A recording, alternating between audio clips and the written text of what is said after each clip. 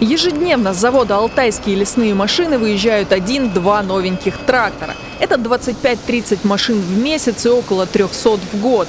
Предприятие производит гусеничную технику и запасные части к ней для лесной, нефтегазовой и энергетической отраслей промышленности. Конструкторы провели модернизацию техники и разработали новые образцы продукции. За последние три года парк оборудования обновили на 50%. Это новый станок, а, работаем в тандеме. То есть а, можно работать как и одному, так и э, вдвоем.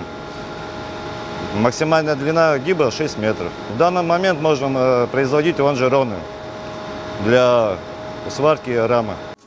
Автоматизированные станки позволяют быстрее и с меньшими трудозатратами выполнять различные виды работ.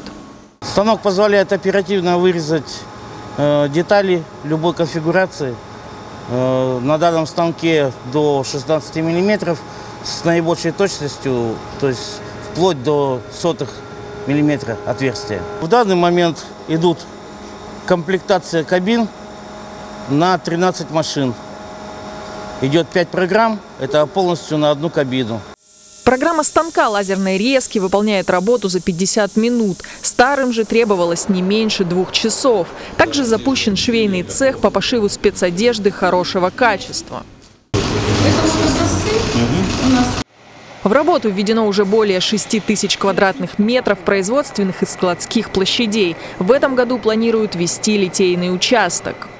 Приступаем к строительству склада, вот, потом литейный корпус идет непосредственно, потом основной и перспективное строительство. Всего застроить хотят 57 тысяч квадратных метров, а с увеличением объема производства возникнет необходимость в молодых квалифицированных кадрах.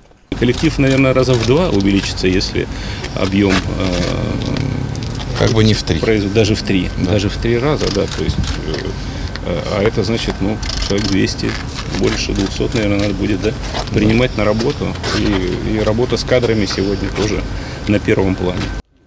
Предприятие в свое развитие вложило уже 200 миллионов рублей. Общий объем инвестиций в строительство новых корпусов, говорит руководство, составит порядка полутора миллиардов рублей. Еще столько же намерены вложить в оборудование. К 2025 году объемы производства должны вырасти в два раза. Юлия Щепина, Александр Антропов. День с толком.